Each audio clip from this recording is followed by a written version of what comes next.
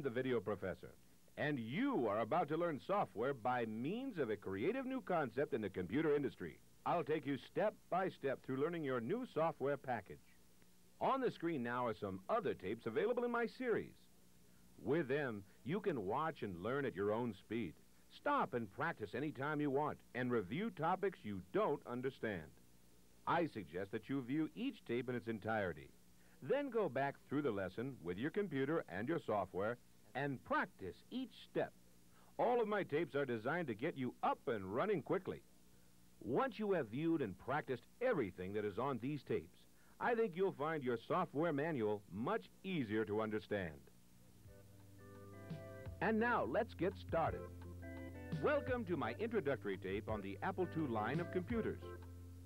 After this short lesson, with a little practice, you'll know how to set up your Apple IIe, Apple IIc, or Apple IIgs computer and have it running your software. Before we start, let me explain that I will be using an Apple IIgs computer for this lesson. You may have an Apple IIe or an Apple IIc, but there are many similarities among these computers. Most of what I'll be explaining will apply to all three computers, and when there are differences, I will be sure to tell you. Most Apple II computers have at least one disk drive connected to them. If you have an Apple IIgs computer, I will assume that one of these disk drives is a three and a half inch disk drive. A second disk drive is optional, but I will be demonstrating how to set up a five and a quarter inch disk drive as a second drive.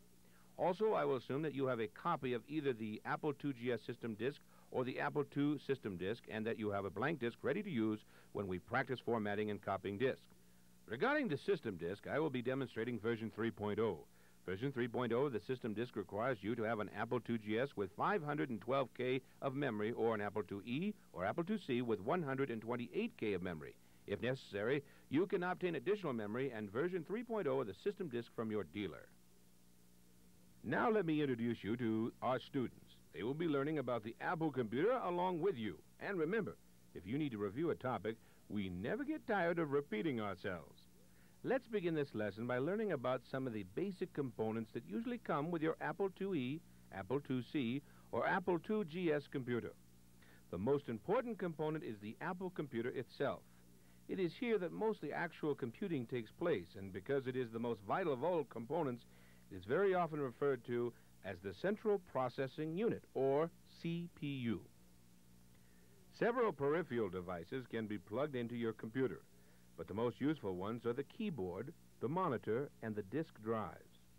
Another peripheral device that may be attached to your computer is a printer. If you have an Apple IIgs, you will also have a small peripheral device called a mouse.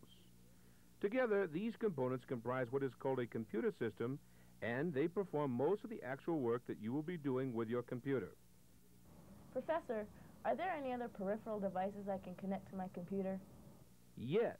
You can also attach a modem so that you can use your Apple computer to communicate with other computers that may not be directly compatible with yours.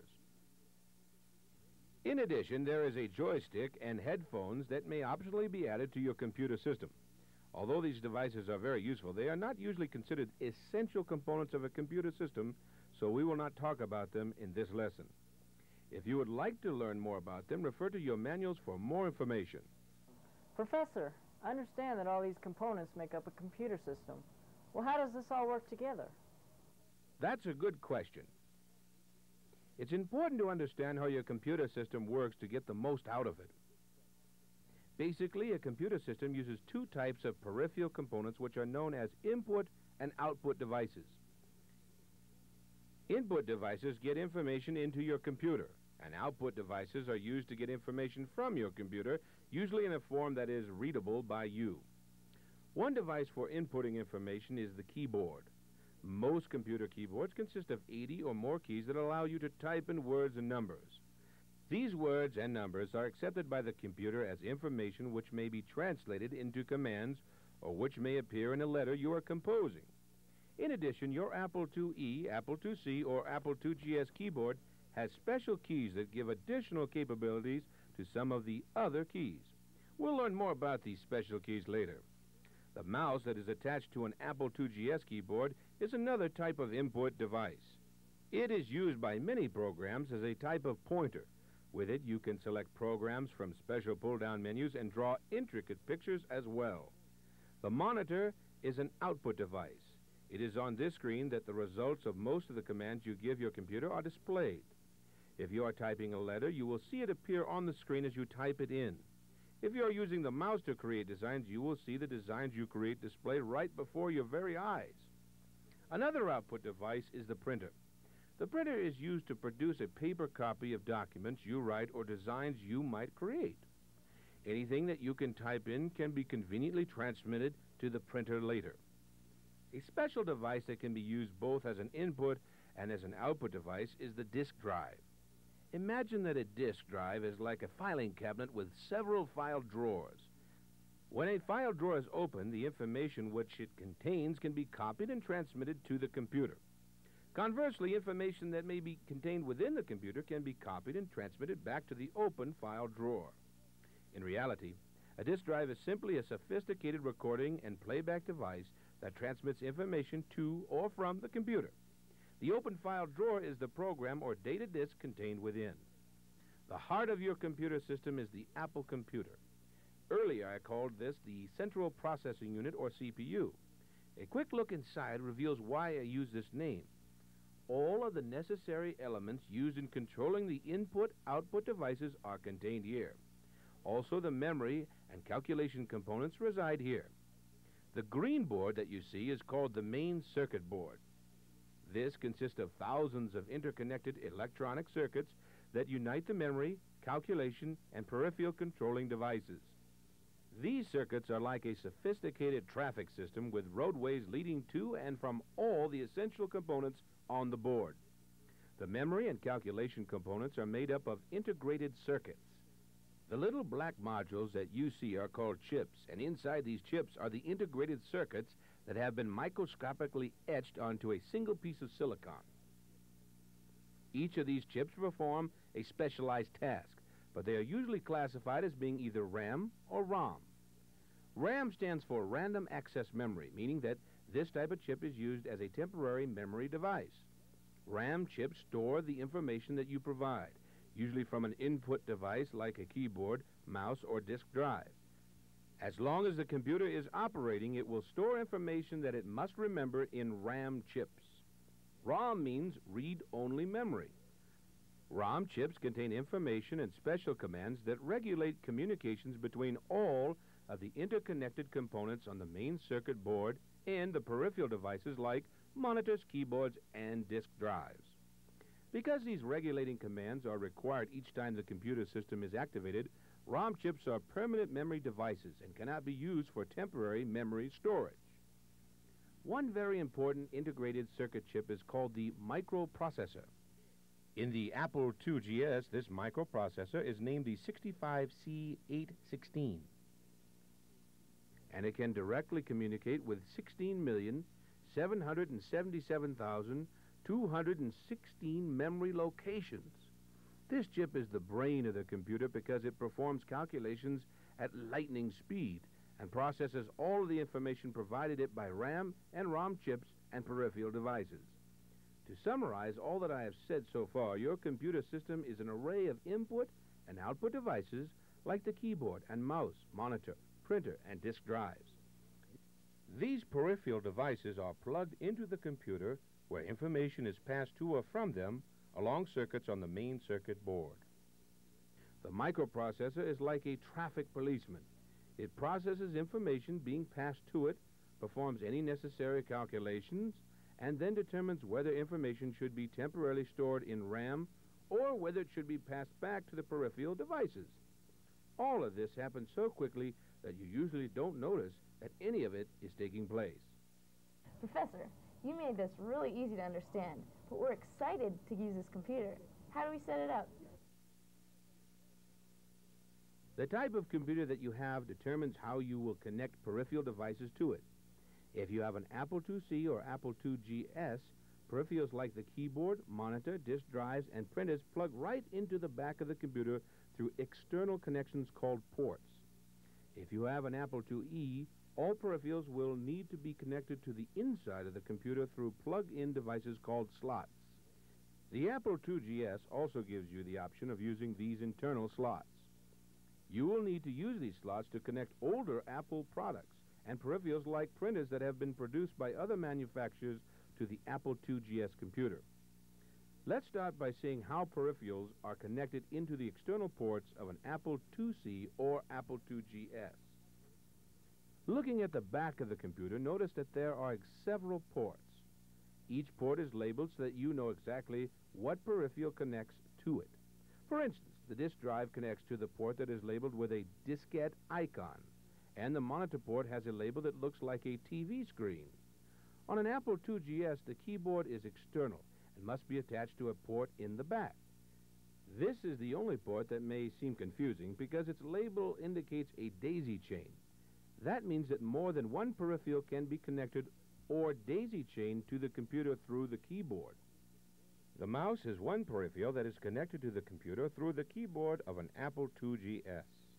Okay, let's get started. Begin by finding the power switch on the back of the computer. Be sure that this switch is set to the off position. We don't want to risk damaging any peripheral while we are connecting it to the computer. Now find the power cord. Plug one end of the power cord to the computer and the other end into a grounded outlet. Now, if you have an Apple IIgs, connect the keyboard. The keyboard cable looks kind of like a spiral telephone cord.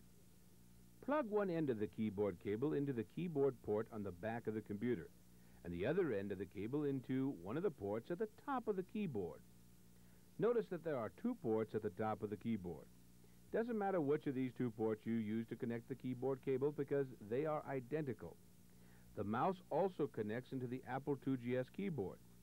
Plug the mouse cable into the port at the top of the keyboard that is not being used to connect the keyboard cable. Now it's time to connect the disk drives. There are two kinds of disk drives that can be connected to the disk drive port in the back of the Apple IIc and Apple IIgs. These are three and a half inch and five and a quarter inch disk drives.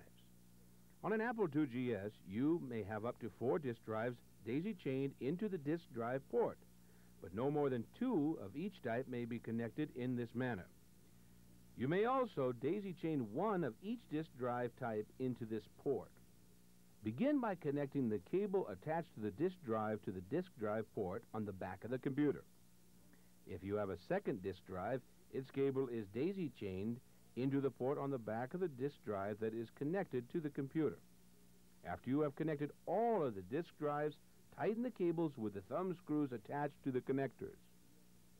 The Apple IIgs will use one of these disk drives as a startup drive when the computer system is first powered up.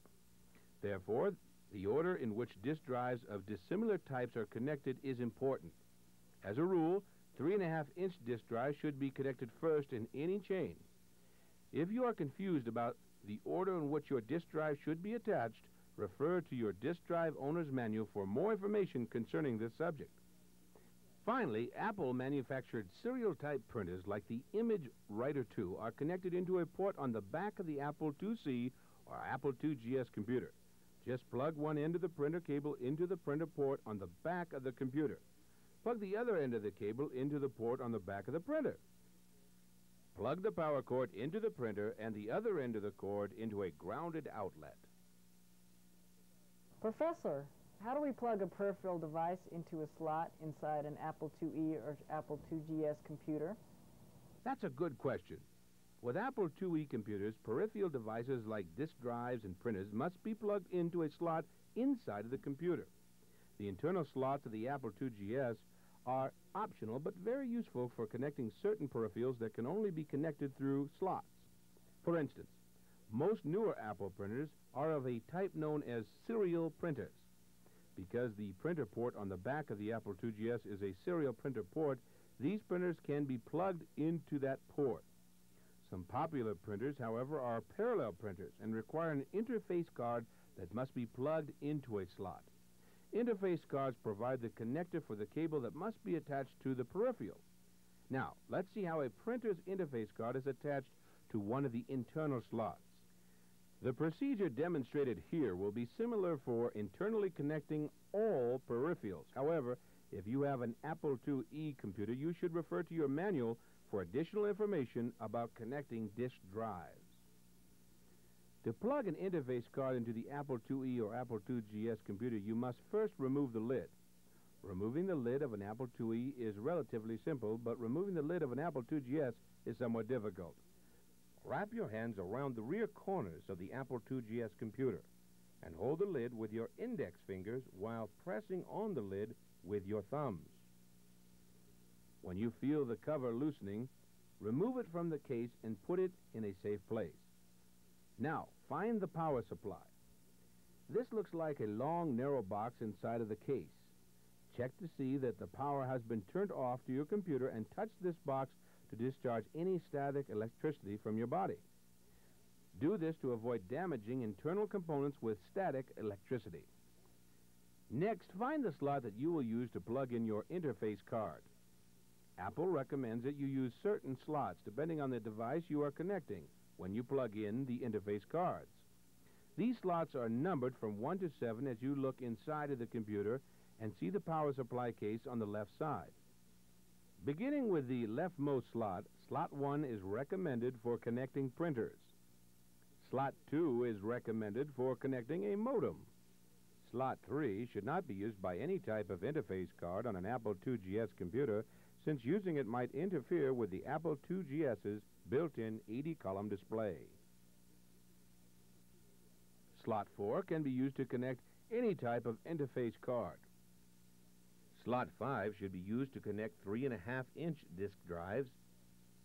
Slot 6 should be used to connect 5 and a quarter inch disk drives.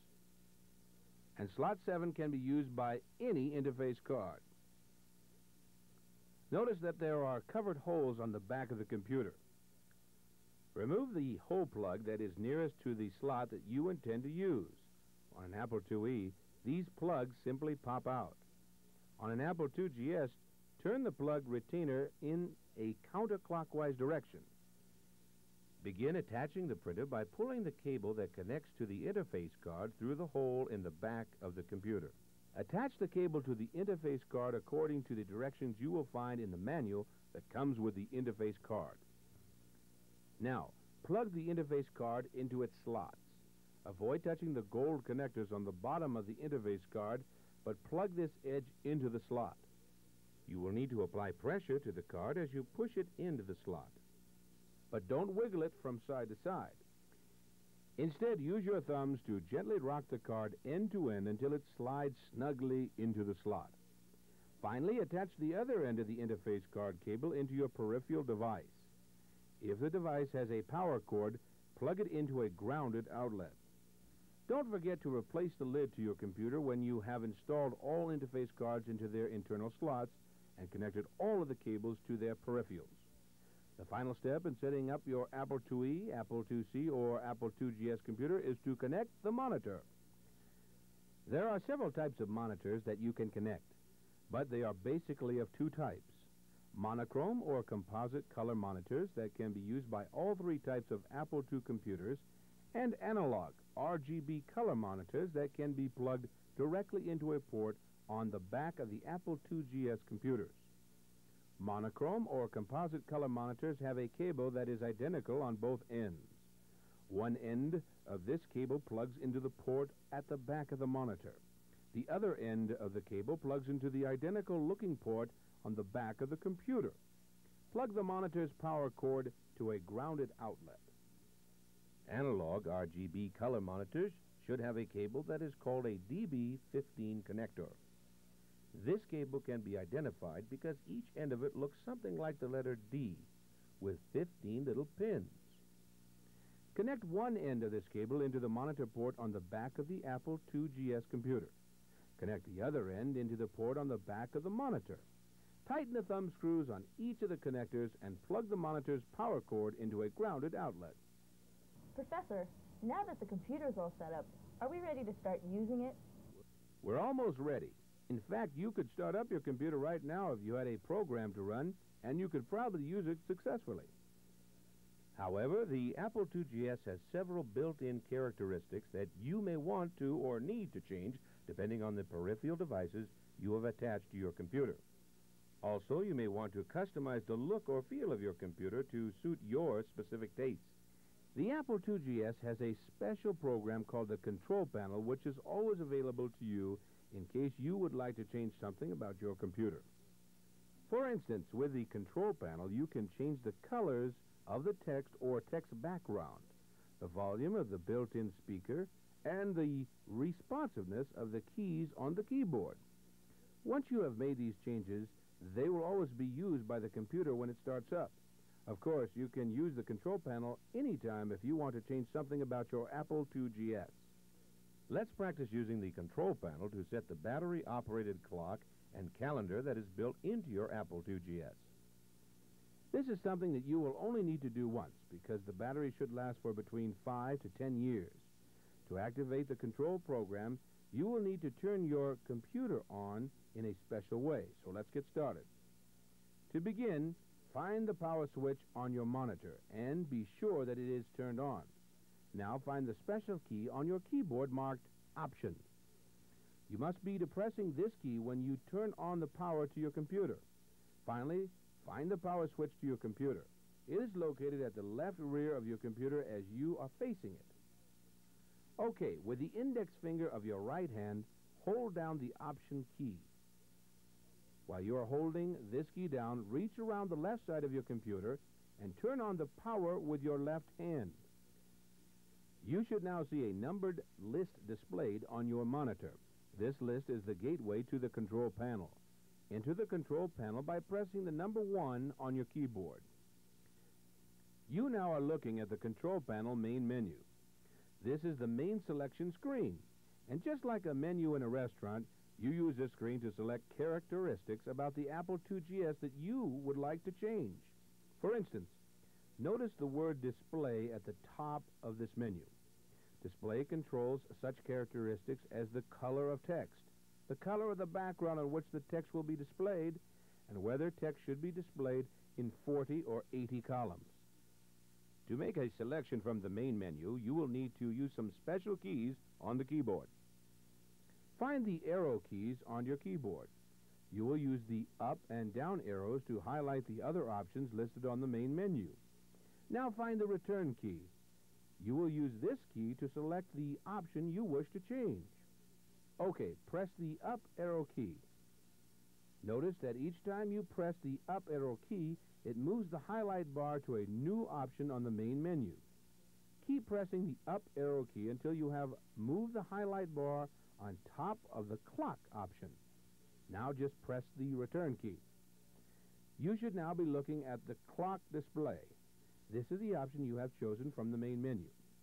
Notice that the time and date is displayed in a rectangular box near the upper right of this display. The time and date shown there is probably wrong, so we will use the options on this display to make the appropriate changes. Now notice that month is highlighted. To change the number that is displayed here, use the right or left arrow keys. Try pressing the right arrow key now.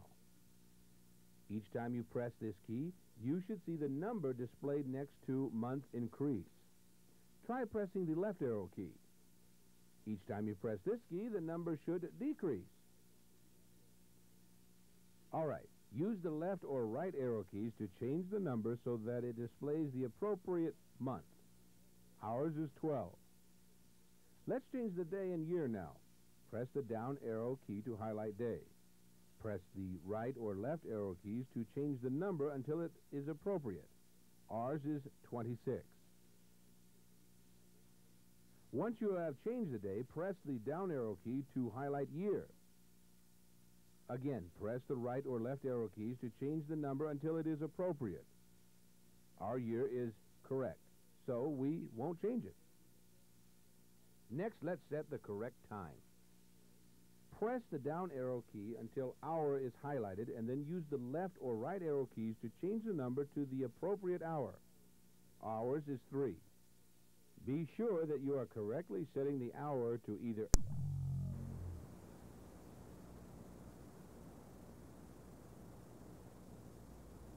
Press the down arrow until minute is highlighted and press the left or right arrow keys to display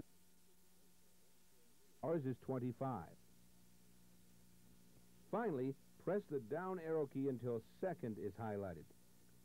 If you want to change the second, use the right or left arrow keys to set the appropriate second. This, however, is optional. By the way, You may have noticed that two options called Format have check marks next to them. These check marks mean that the Apple IIgs has been preset to the characteristic displayed.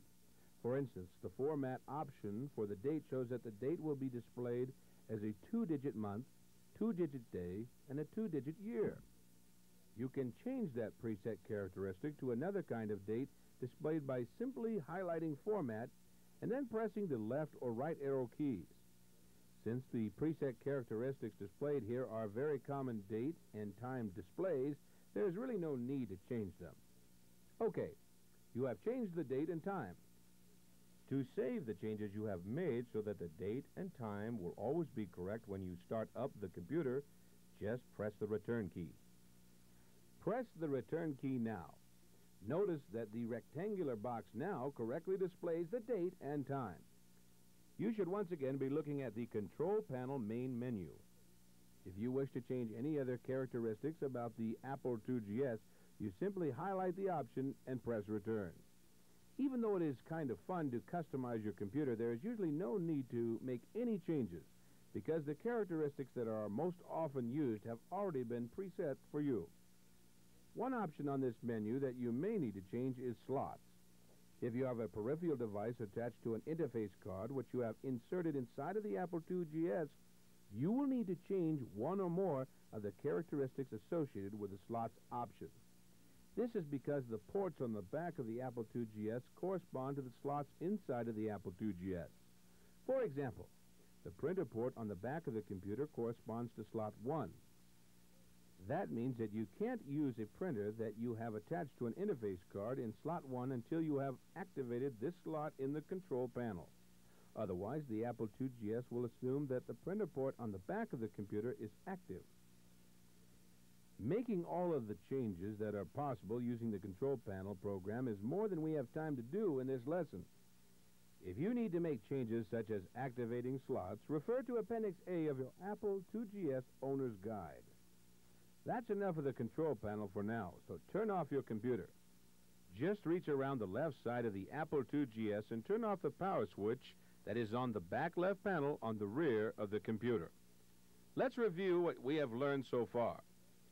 You now know something about a computer system and how it works.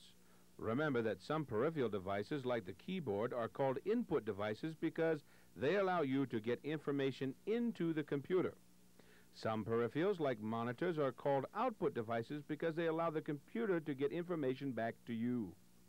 Inside the computer are circuits, ROM chips, RAM chips, and the microprocessor. It is here in the central processing unit that all information processing and calculations take place. You also know how to set up your computer. Remember, many peripheral devices can be attached directly to the back of Apple IIc and Apple IIgs computers through the appropriately labeled ports. However, some peripheral devices must be attached to interface cards that are connected to your computer through the internal slots of the Apple IIe and Apple IIgs. With the Apple IIe, slots are the only way to attach peripherals like printers and disk drives to your computer. The control panel is a built-in program that allows you to customize your Apple IIgs by changing certain preset options found in the Control Panel main menu. You can access the Control Panel program by pressing the Option key when you turn on your computer. Remember, once you have changed a setting in the Control Panel, you will never have to change it again until the battery that is built into your Apple IIgs needs to be replaced. Professor, now are we ready to use a computer? Yes, you can run any application with your Apple computer simply by inserting the application disk into the startup disk drive and turning on the computer. What I mean by application is a program like a word processor, a database, an educational program, or a program that entertains like a game. Usually an application program comes on a single disk, and when you start up the computer with that disk in the startup drive, the application takes control of the computer. What you see on the monitor and what you can do with the computer depends on the application that you are using. To practice starting up and using your computer, you will need the Apple IIgs system disk or the Apple II system disk that I talked about earlier. This disk contains several programs called utilities. Utilities help you to manage all the disks that you will probably begin to accumulate as you continue to use your computer. While we practice with this disk, we will learn about utilities that use the mouse on the Apple IIgs and other utilities that use the keyboard on Apple IIe and Apple IIc computers. We will also learn how to prepare disks to save information we create while using an application and how to make identical copies of disks. Before you use your system disk, however, it is a good idea that you write protect it. Write protecting any application disk is a good idea because this prevents the disk from being accidentally erased or damaged. Unless your application's manual specifically directs you not to write protected, you should always do so.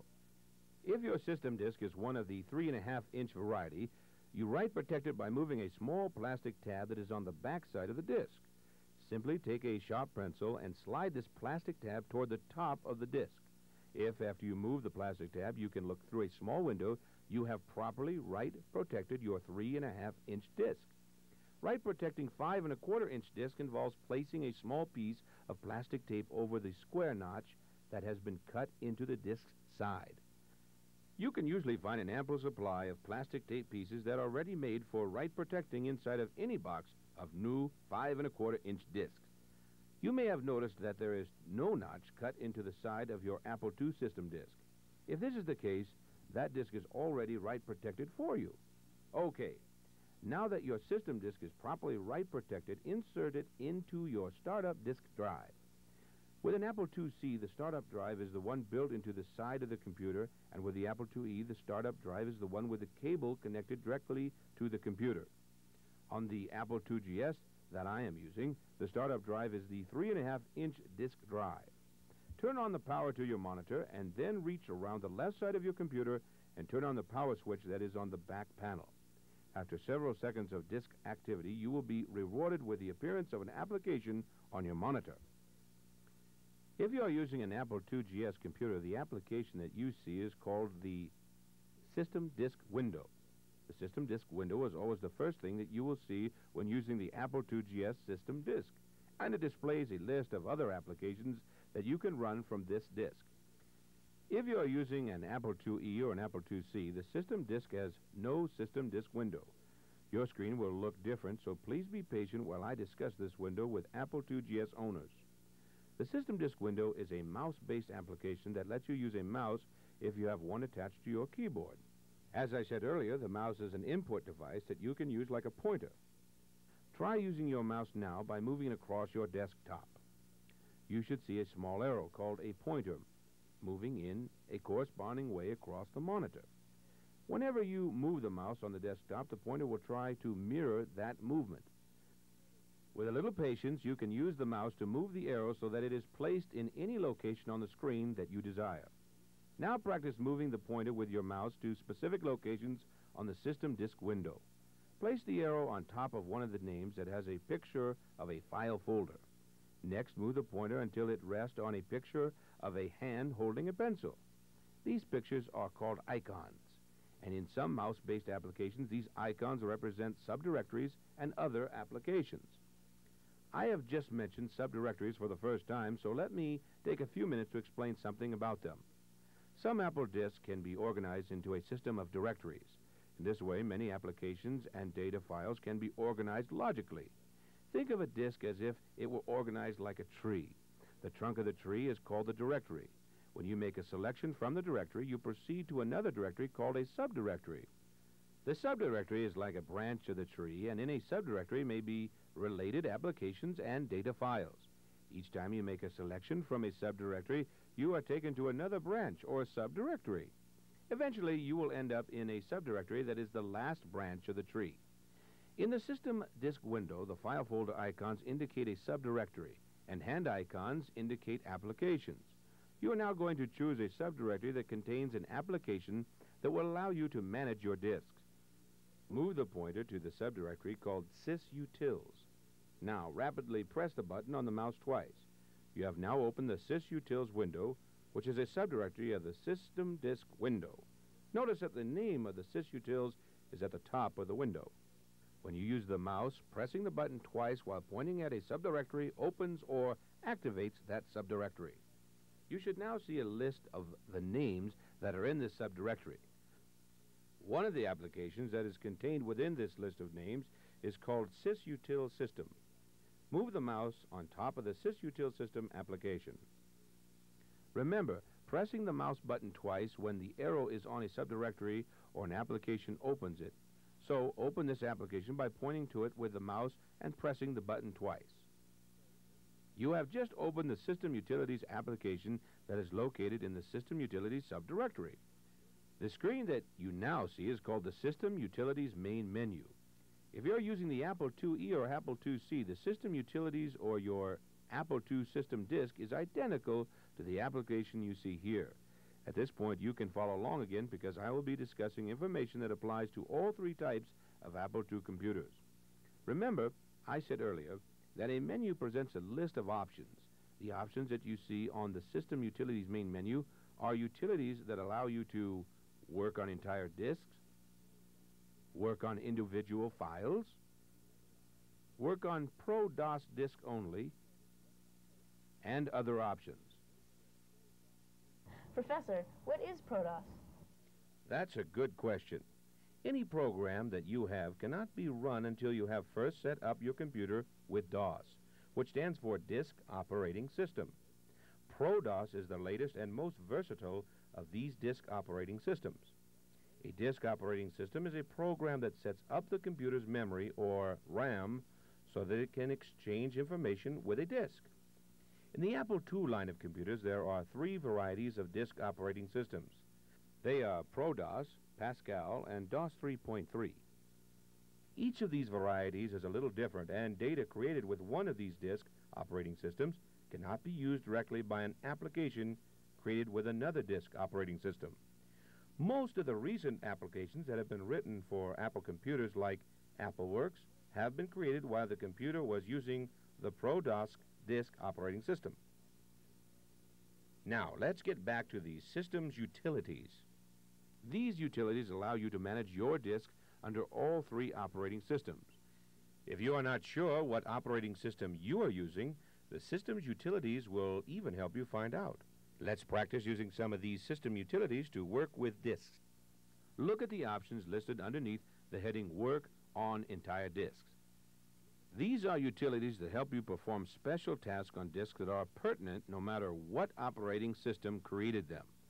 The utility that is highlighted, Catalog a Disk, lets you see all of the names of applications and data files that reside on that disk.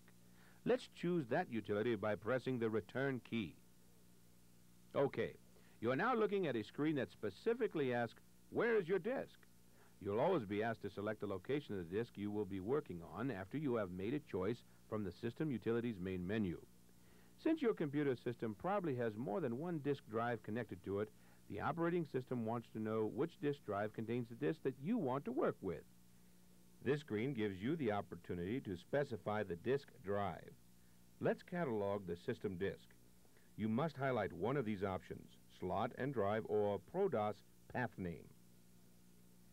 Since you probably don't know what the ProDOS path name of your disk is, select the slot and drive option and press the return key. Having chosen the slot and drive option, you see the word slot and drive appear. The numbers indicate the location of one of the disk drives that is connected to your computer. You may have to change one or both of these numbers to specify the disk drive where your system disk is located. Before you change any of these numbers, determine the slot where your disk is located. If your disk is in the 3.5 inch disk drive, it is located in slot 5. If your disk is in a 5 and a quarter inch disk drive, it is located in slot 6. Also, since you may have more than one disk drive connected to either slot 6 or slot 5, you must determine the drive number. The disk drive that is first in any chain is always drive 1. The disk drive that is daisy chained to drive 1, if it is of similar type, is drive 2. If the second drive is of a different type, it is probably drive 1. what I've just said is complicated, so let me illustrate using the computer system we set up. The 3 and 1 half inch disk drive is connected directly to the computer, so it is located in slot 5, drive 1. The 5 and a quarter inch disk drive that is daisy chained here is located at slot 6, drive 1, since it is dissimilar to the first drive. If all this still seems a little confusing, Refer to your disk drive owner's manual for more information about slots and drives. Now that you have determined the location of the disk drive where your system disk is located, change the numbers if necessary to specify the location of your disk. This is a keyboard-based utility, so you cannot use the mouse. Instead, use the right or left arrow keys to move to the appropriate number. Then change the number by typing the number you desire. Ours is slot 5, drive 1. When you see that you have correctly specified the slot and drive numbers, press the return key. You are now looking at the catalog or listing of the names of files that are on the system disk. Professor, what exactly are files? A file is any information that has been stored on a disk. It could be data, an application, or a subdirectory. Think of a data disk as though it were a file drawer of a file cabinet. Contained within any file cabinet drawer may be a great number of file folders, each containing data. When you open a file cabinet drawer, you survey all the file folders, but you cannot see what's inside each folder. The only way you have of knowing what may be inside is by looking at the label placed on each folder. This label is usually displayed in a prominent place so that it can be seen when the drawer is open. Now, the catalog of the system disk is showing information about the files that are on that disk. Remember, you can't actually look inside to see the data that is contained within each file. The catalog does, however, show you more than just file names. You also see the operating system which created this disk, the path name of the disk if it was created with ProDOS, or the volume number of the disk in case it was created with DOS 3.3. Also, beside the file's name, you will see its type and how big it is. Additional information that you will see in a catalog is how much space has already been used by files and how much space for files remains on the disk. Well, we've seen enough of the catalog of the system disk. To leave the catalog and return to the System Utilities main menu, press the Escape key that is located near the upper left-hand corner of your keyboard. Press the Escape key now. There. You're looking once again at the System Utilities main menu. Let's use one of the other utilities list under the Work on Entire Disk heading. The next utility we will choose is called Format a Disk. Formatting a disk is one of the most important things we can do to a new disk that has never been used before, because a blank disk has no way of accepting information until it has been formatted.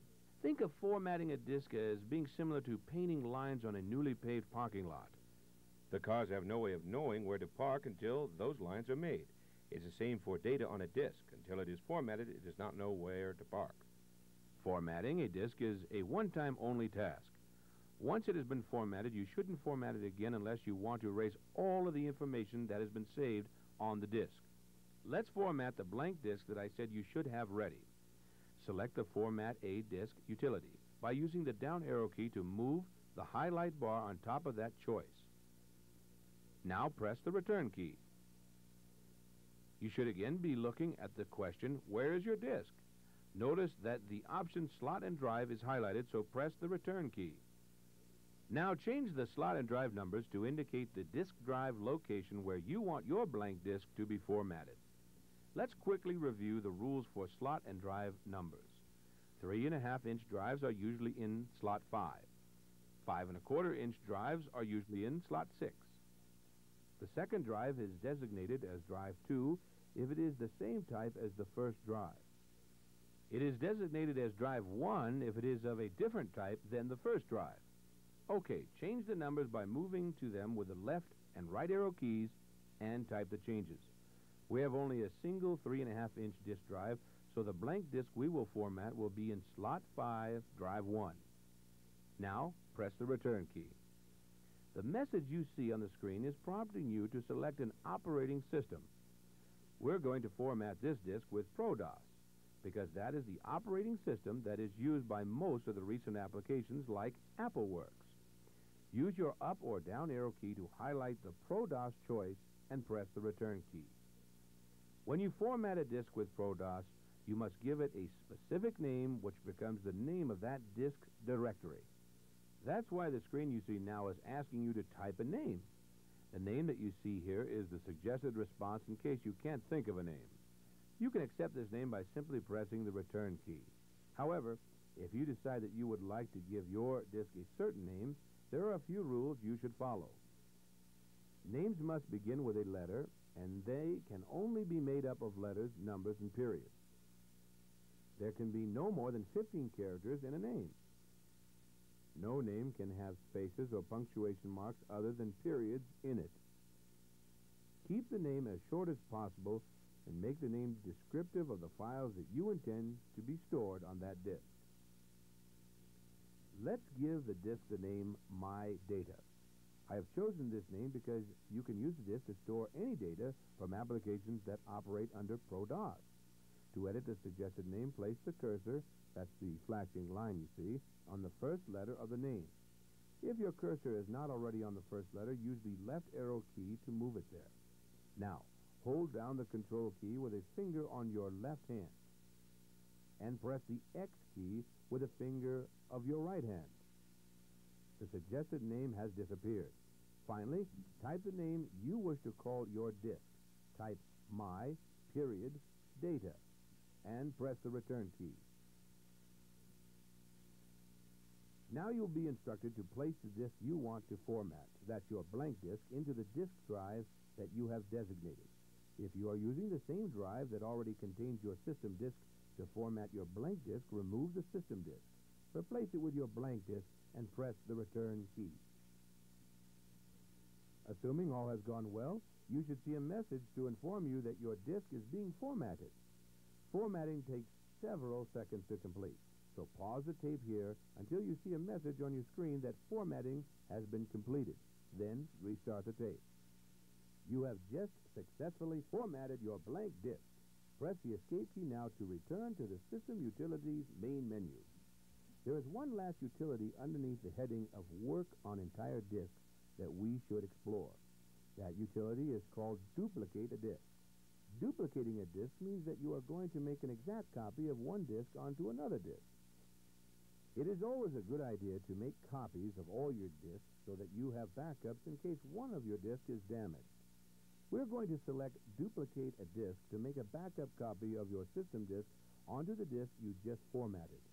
Use your up or down arrow to highlight the Duplicate a Disk utility and press the return key.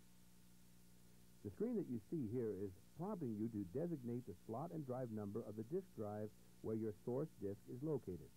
The source disk is the original, the disk you want to duplicate. In this case, that's your system disk.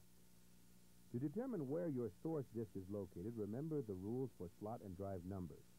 A single 3.5 inch disk drive is in slot 5, drive 1, and a single 5 and a quarter inch disk drive is in slot 6, drive 1. A second disk drive of any size is in drive 2.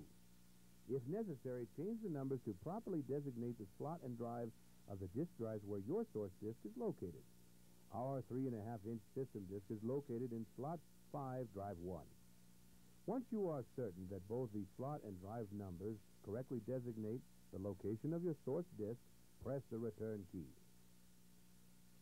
Now you see a screen that asks for the location of the destination disk. The destination disk is the disk where you want the identical copy to be made. Use the disk that you recently formatted as your destination disk. Before determining the disk drive where your destination disk is to be located, you should know that there are restrictions governing how copies of disks can be made. For instance, you can make a copy of a 3.5 inch disk onto another 3.5 inch disk.